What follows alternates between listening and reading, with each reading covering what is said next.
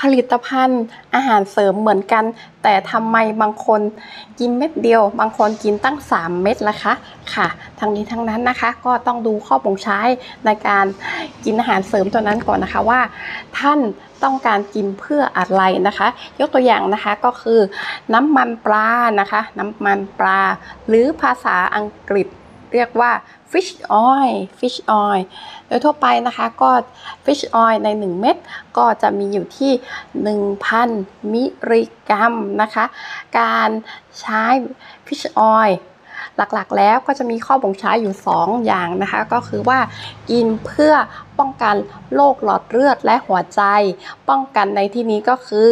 เมื่อผนังหลอดเลือด หนาและแข็งตัวขึ้น และมีการ เกาะกันของเกล็ดเลือดนะคะ ก็อาจจะทำให้เกิดภาวะ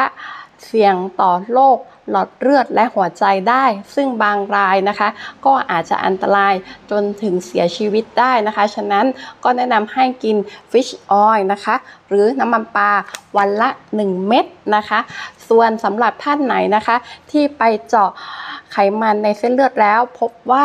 มีไตรกลีเซอไรด์ที่ค่อนข้างจะสูงนะคะ ก็จะแนะนำในการกิน fish oil หรือน้ำมันปลาเพื่อไปลดไตรกลีเซอไรด์ซึ่งเป็นไขมันตัวที่ไม่ดีนั้นนะคะ อยู่ในขนาดที่ 2,000 ถึง 4,000 มิลลิกรัมต่อวันนะคะ นั่นก็หมายถึงว่าท่านที่ต้องการลดไตรกลีเซอไรด์นะคะ ก็จะ ใช้ฟิชออยอยู่ที่วันละ2ถึง4เม็ดนั่นเองนะคะค่ะสำหรับท่านใดนะคะกำลังมองหาผลิตภัณฑ์ในการบำรุงร่างกายนะคะ ไม่ว่าจะเป็นผลิตภัณฑ์อาหารเสริม หรือมีร่างกายที่อ่อนเพลีย อยากให้มีรู้สึกว่า กระปี้กระเป๋าสดชื่นมากขึ้นในแต่ละวันนะคะ ก็สามารถเข้ามาสอบถามกับเราเพสัชเชอร์เอมได้เลยนะคะ เรายินดีให้บริการค่ะ และข้อมูลที่มีประโยชน์ในวันนี้นะคะ